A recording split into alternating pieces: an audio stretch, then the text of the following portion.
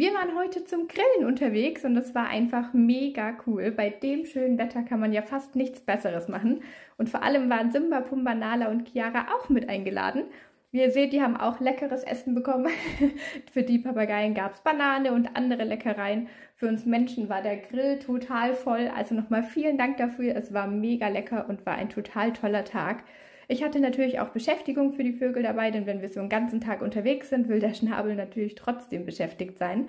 Wir sind zwischendrin auch spazieren gegangen. Fliegen waren wir heute nicht, weil mir die Felder alle zu klein waren, beziehungsweise waren die Strommästen zu nah oder die Straßen zu nah. Und ich bin ja jemand, der lieber vorsichtiger ist. Deswegen waren wir heute mal nicht fliegen, aber die Papageien sind trotzdem gut ausgelastet, denn beim Autofahren können sie sehr viel sehen und wir waren den ganzen Tag unterwegs. Wie ihr seht, der Hund trägt zur Sicherheit einen Maulkorb Einfach, dass dem Papageien nichts passieren kann. War ein toller Tag.